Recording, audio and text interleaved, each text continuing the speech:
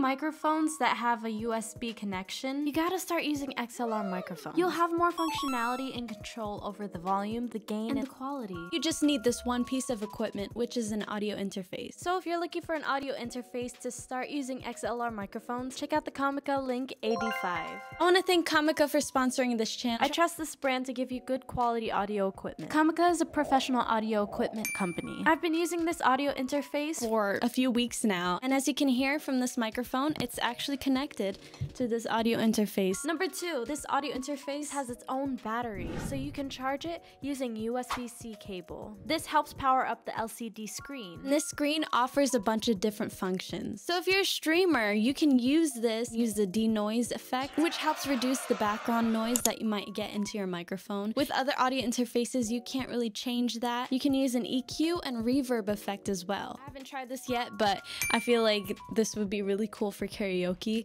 because it has the reverb built in. So I have the EQ.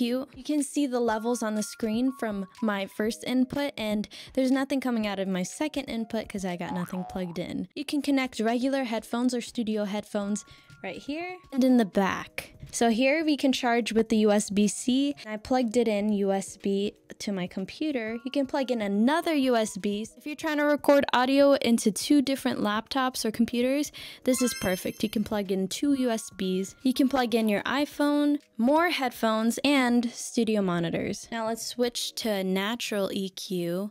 Press it one more time. Now we have a bright EQ. Now, get ready for this. If I hold the FX button, so press it once, now we got the room reverb. I don't have headphones on, so you're gonna have to tell me how it sounds like. We got stage right here, hall, hall right here. So that's pretty cool. This is regular. So I'm speaking into the audio interface, denoise one. Sound changed. There's more specificity to my own voice signal. Press it again, denoise two. So this is more aggressive. Can use this option or you can stick with denoise one. Again, if you're streaming and you just want it right away, this is a good feature because you don't have to edit into your streams. And you can mute. Um, you mute if you gotta stream and you don't want people to hear what you're trying to say.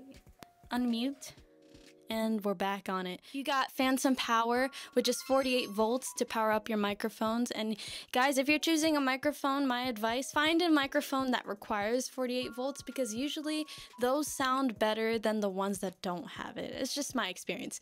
Take it or leave it, check the link in the description. If you're just starting out, for an audio interface that has all these features and you can plug in two microphones or two instruments, it can record clear quality and you can enhance the audio. This is a really good deal. I'd be biased because I've been using using this for the past couple weeks already. I can bring it around wherever I need to go. Some of my other equipment I'm kind of afraid to take out of my studio, but this one gives me the same quality at a fraction of the price. Look into the Comica Link AD5. I love how compact it is. It's not fragile. If I drop it, it won't break and I've dropped it a few times before. That's why you probably see a little scuffs.